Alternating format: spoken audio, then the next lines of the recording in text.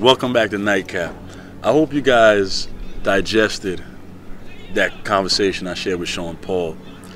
Upcoming on this episode, we have an equally introspective conversation and maybe an equally dicey topic on an issue that I've always been fascinated with surrounding the concept of inner city youth. Is it are they conditioned to believe that sports and athleticism and entertainment is their only ticket out, as opposed to possibly developing the mental? Well, this guest, Santana Moss, was endearing enough to shed light on this topic and, and, and digest on exactly what he calls the concept of realizing the dreams and, and maximizing the God-given talent that you see in front of you. But understanding that maybe our community and parents in our inner city can do a better job of possibly exposing kids to, to tools that would enable them to branch out and explore the, the, spectrum and the plethora of things they can do, whether it be a doctor, whether it be a lawyer. Santana even touches on the topic of the black quarterback. You know, when we were growing up, we didn't see the black quarterback. This is a phenomenon that's that's what, that we're seeing more and more. In this Super Bowl, we have Russell Wilson, and you know, I guess media appears uh, shy away from the obvious topic of of is the black quarterback seen as still a guy that could just run and, and, and seen as a guy who's more physical or more mental? And this is something that Santana shed light upon. I think you guys will really be engaged in what he had to say. These conversations are meant to delve below the surface and connect us, connect us all as society so we understand each other. We understand exactly who we are. We understand our fears. We understand our passions. We understand our beliefs. So enjoy. And for more, please visit www.impeterbailey.com. Just real people, real convo.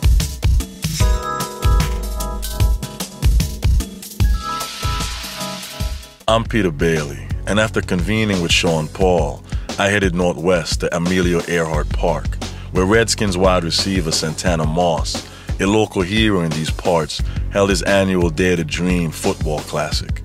The game is what carried Moss far from here. A struggle, he says, defined his tenacity on the field.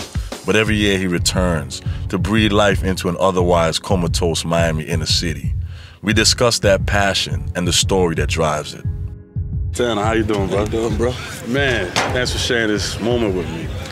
You know, Santana, your name always are one of those names that comes up in Miami mm-hmm. as someone that's always been rooted in the community and giving back to exactly where you came out of. You know, that, that, that just sounds cliche to so many people, but somehow with you it seems real. Mm-hmm. How real is it to you, this Dare to Dream weekend you have every year? You know, it's definitely real. You know, um, beyond having an event or a weekend, I try to always be seen around the neighborhoods that really made me. You know what I'm saying? Mm-hmm. No matter what way that I give back, whether it's a, a contribution, you know, uh, as far as money or something, or you know, just showing love or or or giving knowledge, I try to always be you know be a part of that. I feel like um, growing up in these city, this city streets, from Liberty City to to Carroll City, yeah.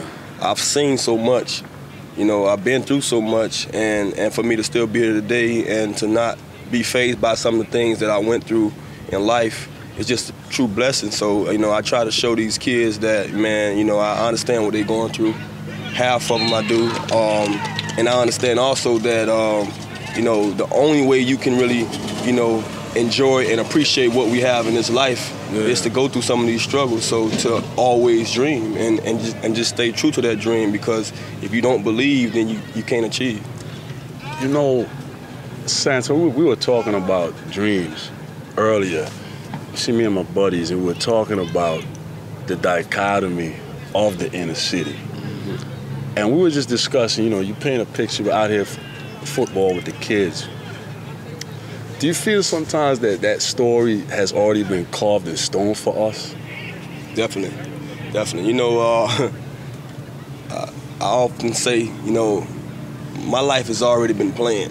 Yeah. You know, when, when I was created, it's already written what I'm going to be do. I just have to go out and carry out them, them assignments that's already given. You Yeah. know, and so that's how I kind of live. You know, I I don't wake up like uh, I'm big with saying I don't plan. I don't make plans. Yeah. And people wonder why you don't make plans. Why you always alive? Because I just feel like you know, as that day go or as my time is you know uh, spared, I have to do with what I have, and that's just why I always stay on the move because I don't like to have nothing set in stone, saying I have to do something or I have to do this. It's- You know, I just feel like I should go with the flow, and that's you know dating back into what I'm saying that I feel like everything is already given.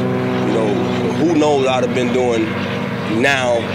Back then, when I was one of these kids out here running around these, What you these what, what, what you were thinking when you were one of these kids out here running around? I just always knew I wanted to be a football player. You know, I always knew that one day I was gonna have a chance to do what the guys I watch on TV do. Yeah. You know, and I just like I said, I remember sitting in school when you get those speakers and they say, you know, it's only gonna be one or two guys in here that listen to what I'm saying today. And it's gonna be able to take heed to what I'm saying. And I used to always say, I hope I'm not that one or two guys that not listening. You know what I'm saying? Yeah. But I was one. I was that one guy, or or two. It, could have been more guys that took what that that speaker was saying that day and applied it to my life. So what were one of those speakers, man? Who were one of those speakers you, you know, can remember? honestly, man, I don't remember names. I'm bad with names, Yeah. but you know, I, I I had a few. You know, from elementary to high school. Um, I remember the lady that that she graduated from Carroll City Senior High.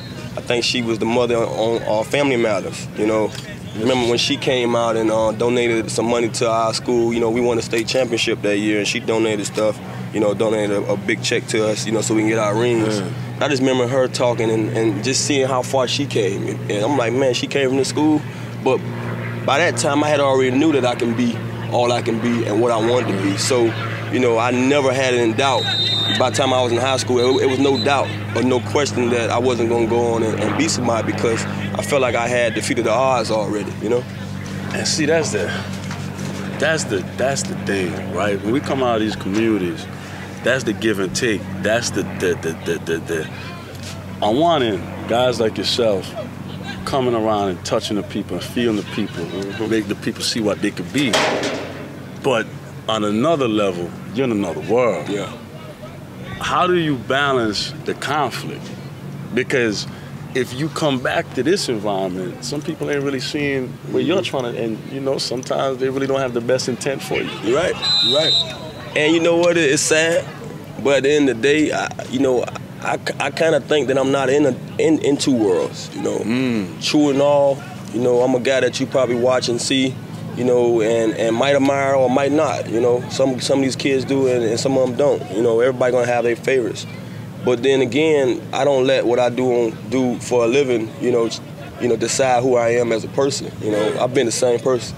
And a lot of people tell you, you know, I haven't changed from the day that, you know, I became myself. You know, I've, I've always been this this kid that I am now. And and when I say kids, because that's how I live. I live like like I was still, I'm still growing up. You know, every day is not a, a day to me. I got kids and all, but I still live this life that I once lived when I was a kid because I'm still striving to be better. You know what I'm saying? I'm still tr- striving to see what more can I be as a person. And so that's why I don't feel like it's, uh, you know, I'm juggling two lives. You know, when I come around here, it's because this is my, this is my, you know, home. This is where I, I need to be at. You know. So essentially, the money and success doesn't change you; it changes the people around. Definitely, definitely, definitely. And, and you know what? I, I heard it. You know, you hear it on albums, you hear it on, in, hear It in music. cliche, but you living it. But definitely you live it, man. You definitely live it, and and you have to change sometime because, you know, in order for you to let them people know that it's not, you know, as easy as they might want it to be for them, you know, you have to change to let them know, like, you know, not change in the sense of not be yourself, but you know, change a couple of numbers here and there. you know, Yeah. change change how you give. You know what I mean? Because I'm that's all I've always done. To you know, I've heard. to, to this day, I'm I've still heard. giving, you know. And, you know, people tell you, I, I, I might not know you and, and, and reach my pocket for you, you know what I'm saying? So So how do you say? How do you know when to say no? you just sometimes have to have to have to guess, man. Should I or should I not? I mean, honestly, you really don't know. You really don't know when to say no. And there's a lot of people that just say no with a straight face. I, I'm one of the people that can't do it. You know, I, I, I have to hear that person out Yeah. to see if she or he really needs it or not. You know, and if I feel like I should help him, I'm gonna help him nine times out of ten. Yeah. You know, and whether I help him one or, once or twice already before, you know, maybe that third or fourth time might be the easiest way for me to say no because I've already given you that chance. You know, so it's hard to say no, man, and and that's something that to this day I don't think, you know, uh, I ever get over. But the one thing I do accept, you know, uh, why I'm in this situation to give. Why maybe it's not maybe it's not meant for me to say no. So point. you know, uh, you know, I, I, I sit and think all the time. I say, man, you know, I, I honestly have to just thank the Lord that He's blessed me to be able to give. You know, a lot of people say, yeah, you can't give, you can't give to everybody. You're right. You don't want to at times, but sometimes when you really see what people going through and how they living in this world, you, can't help but to give. So, you know, sometimes I just do it and say, man, I really appreciate the opportunity to be able to give. Maybe I'm going to always be in this situation, so therefore I take advantage of it. question I've always wanted to ask a professional athlete, so I'm sure it's you. Because you seem to give me a real answer. There's this glorified, glamorous image of the professional athlete, especially for black kids coming out in the city. We're all from that same space, right? Mm-hmm. I was at a school the other day. You were born with immaculate gifts. You worked hard to get to the upper epsilon of that stratosphere of that career. But to play devil's advocate, when I'm talking to young brothers and I got 20 of them saying, I'm gonna be a football player, mm-hmm. it's like, do you think society gave us only two outs where we either gonna try to rap or play ball and we don't wiped out all other things? Is that, honestly, you're in that space, you made it, but do you think that's a healthy mentality sometimes to have? You know what? To be honest with you, I never, I never once thought of that, mm. and, and and right now I'm gonna break my brain thinking of, of, of an answer to give you, honestly. But you know one thing I can tell you when you say that, that is one true gift a lot of these guys don't have to work hard for. Int- Exactly. You know, I mean, Exactly. it's probably a couple of doctors out there that they don't know they they they they have a they have a chance of being there just because off of they they sense, Yeah. off of their work ethic. It's probably a couple of lawyers. It's probably a couple of teachers. Yeah. But the one thing that they know they can do is run on the field mm. and catch balls and shoot balls and run track. You know what I mean? So, mm. you know, when when you're African American and you're blessed with and I don't understand why a lot of us blessed with speed and, and hands and all this, Yeah. you know, this talent. When you blessed with it, you say, well, that's, I'm going to use this to the fullest. And therefore, you don't have no other thing in mind but to be what I can go out here and be good at. Interesting. But sometimes, Santana, I think a lot of us do have beautiful gifts outside Definitely, of that. definitely. But it's maybe we're not fed that we can develop Definitely. those gifts. And see, the one thing I just talked to somebody about, man, I was telling them, you know, I say, it's crazy that, you know, I remember sitting in school in college and you see so many different kids come through, whether they're different, you know, from different cultures, different races, and you see how they're prepared on a different level when they come to school. We were just talking about So, that. you know, you, you sit back and say, man, you know, I can't fault what they know and what I don't know. Mm. But I know one thing I can do is try to apply myself to know a little more to help myself be on their level. You know, as parents, as parents, we have the chance to to really put into our kids what we want them to be. And a lot of the kids from different, you know, races, especially the Caucasian race, they're they they're they're brought up in households where their parents like basically give them the map, map of what they want them to be, how to be successful. Yeah. You know, we always told the same thing.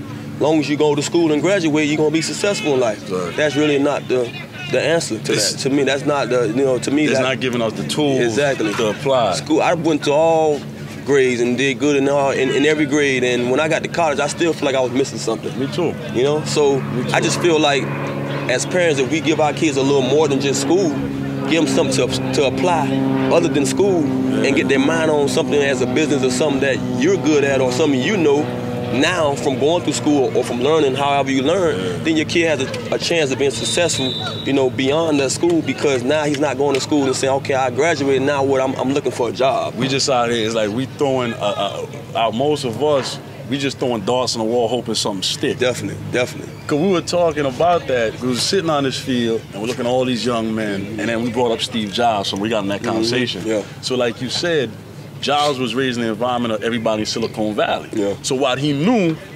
was the computer industry. Exactly. That's fascinating. a little bit of football, man. Yeah. People, you know, I love to be able to discuss what I want to discuss. And the evolution, the Super Bowl is coming up. Yeah. I think Clinton picked, I think he told me he picked the Seahawks, Mm. if I don't remember. The evolution of the black quarterback is something, you know, I don't know why it's such a taboo conversation, Mm-hmm. but it's a topic that hell I'm, I'm interested in. And you basically on the team with the, the guy who's right now the poster poster board Yeah. of that. Is it unfair when we just focus on that too much, or is it a topic that needs to be discussed? Where you know, I didn't grow up seeing black quarterbacks, man. You know, I didn't. I- you're right, and you have your missed views of how they label the black quarterback these days. You know, um,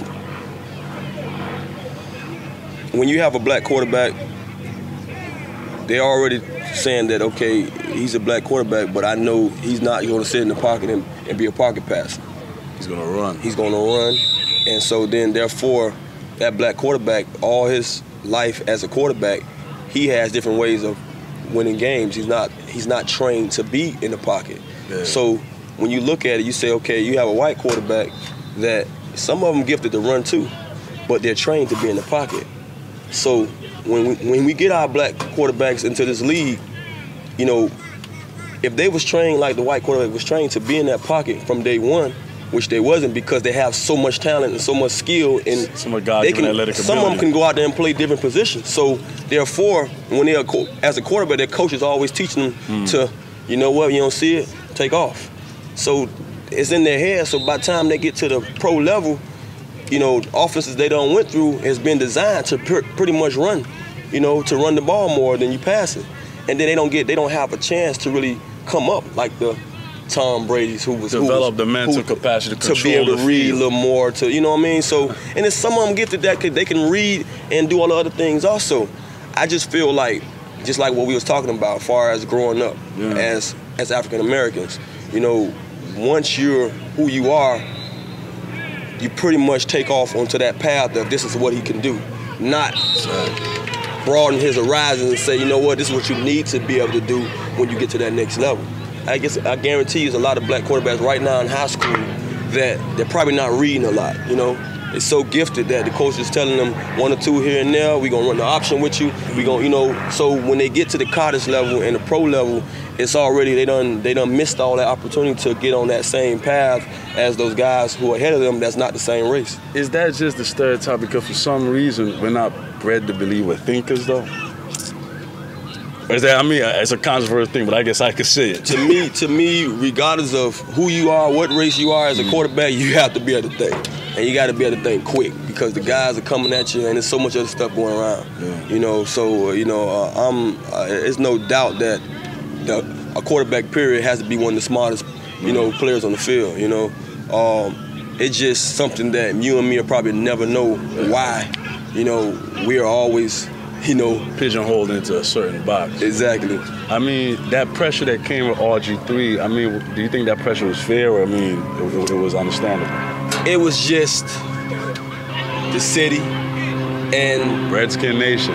you know, him being him, Heisman winner, and having the first season he had, Yeah. it was almost, you know, bound to happen. Yeah. But I feel it shouldn't happen that way. It shouldn't have been in such a negative way. Yeah. And I think as a player, we have a chance to pretty much control how the media handles us. You know, Yeah. If if if he goes out there and have that kind of season, you know, um, later on during the year after missing some games, maybe they'll be a little lighter on him. Yeah. But they saw him, you know, with the commercials. They saw him with the shirts. So they carry him at him every day in training camp, asking him, does, do he need to practice now? And do I mean, do he need to play now? And you know, being young, he said what he had to say. You know, he only knew one thing: is no, I don't, and I'm gonna be ready. Which I don't even think he didn't want to. He wanted to go out there and play in preseason. I think the coach decided him not to. So. You know, when you in that situation, man, it's just almost like a, a no-win situation, and all you can do is go out there and, and do the best he can. Mm. And when we had the season that we had, it man, it was just bound to happen. You know. Me and my buddies got, you know, you know, us guys that sit around watch football. I can't catch a pass, but we always got all these opinions of what you guys do. You know, we, we were talking about you know the NFL is, is kind of get there's a lot of these different rules with the hits and whatnot. You're a wide receiver, you're one of the best to do it. You know, we kind of feel that these guys making it softening the game. I mean, do, do you feel, do you just want to go out there and play the authentic game that we grew up on, or do you think you want to be protected more? Um, Are these rules protecting you? Football is football. I think a lot of the rules don't protect everybody. So at the end of the day, somebody's getting left out. You know, um, I think everything is basically instinct out there. You know, a lot of the plays are made off instinct. If I'm going to know that I'm going to tackle this guy low Yeah. as a safety or a corner or a defensive guy, that I- it's impossible for me to know that that's Can't how it's going to happen. It's it's an instinct thing. Now to to put in our heads that we should, shouldn't go high, that's great. You know, I feel like that's that's trying to keep it safe because there is a lot of guys walking around here with these concussions or the syndromes, you know, the uh, symptoms from the concussions.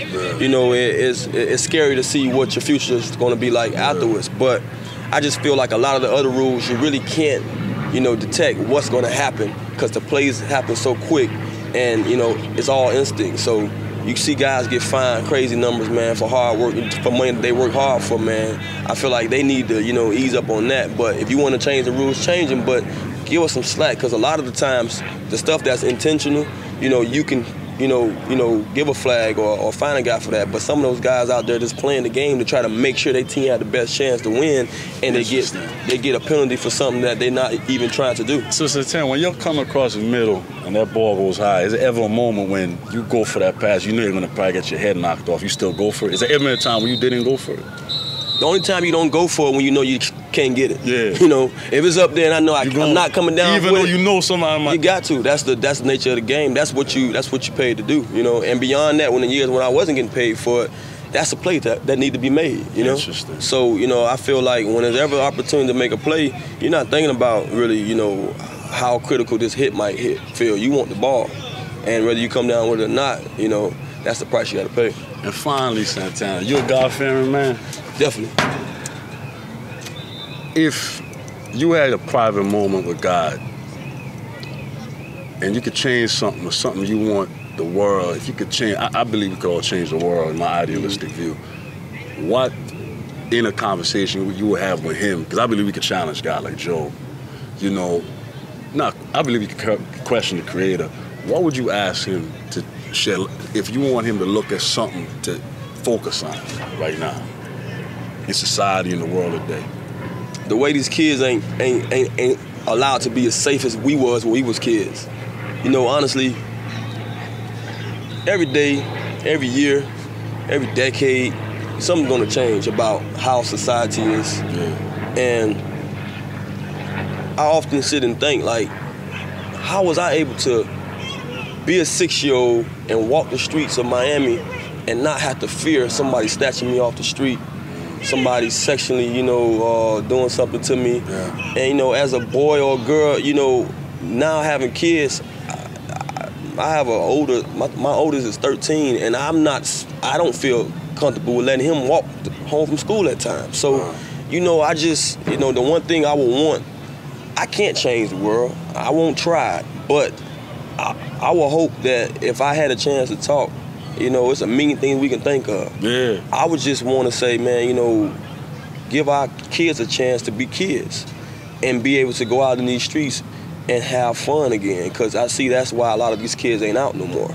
That's why you got a lot of these kids. And it's crazy how people talk about the video games, keep the kids inside, but you got to say thank Lord to, for, for the video game because it's not safe outside no more. For And these our kids. kids, they just, I hate to sound old fashioned, but the culture's changed. We- Yeah. Everybody's doing everything. Yeah. The pills, the Yeah. popping, the It's crazy, man. every hip hop So- standpoint. Who's in your iPod, man? Um, Musically, who you listening um, to? Rose, Drake, you know, T.I., you know, T.I. is one of my favorites. You know, um, I feel like his, I his delivery is like show. a, you He's know, a like a authentic. something like pop, you know, so he, you I know, feel the same speak thing. from the heart. Um, you name it. Outkast, Outkast is my favorite, you know, uh, group. Um, man, you name it, man. I still, I'm still riding with Pac and Biggie too. You know, I can listen to any old album from them guys, and, and, and it seems like it's on today, day's level. Uh, Wayne, you know, you know, pretty much anybody, man, that's got something to say, man, and, and that's and that's know what they're talking about. You know, Yeah. Kendrick Lamar, all those guys. So When you think about kids trying to get to where you are, I have a belief that the reality you believe is more real to you than the reality that's in front of you. Yeah. Would you agree with that? Definitely, definitely, definitely. Uh, you know, it's always was told to me that my structure wasn't going to allow me to be what I wanted to be. Short, you know. Um, uh, most Draw of- small for a while. You know what I'm saying? You know, and, and back then when I was young, I was smaller than you know the average short guy. So Yeah. when it come to you know weight and stuff, so you know, I never listened to that because that's who I wanted to be, and that's what I wanted to be. And it's crazy how the, as the time changed, and you, now you see the guys of my structure that's true. are some of the best at this position. You know what I mean? So it's just man, dream, dream, and dream. Yeah. Don't never let nobody knock your belief. You know, Yeah. I feel like you know, regardless if you came up in a house that was fortunate or not, you know, however you got to get it, get it, but keep your dream. You know, and I feel like if you're going to be able to, or if you want to be successful in life, that's the only way you're going to be successful. I guarantee you that every millionaire, billionaire didn't sit around and say they wasn't going to have a chance. They believe that. Yeah. These You- guys you- not- I believe you can will yourself into the position you want. Definitely. Because think about it, there's a lot of guys, it just, it was me and Andre Johnson just talking on the ride over here. Most of the billionaires that we know these days are guys that were flat broke, not once or twice, but, but, but numerous of times. And for them to come out of that, to come back up to get what they have now, it was all about belief. You know, about they believed in something. Because a lot of the guys that has the most money lost a lot of money before. And so that's what it's about, man. It's about your, it's basically about your hustle. You know, if if you have enough belief, then you're gonna go out and hustle and get whatever you want. Yeah. Thank you. Same time. Thank you, Appreciate that conversation, man. man.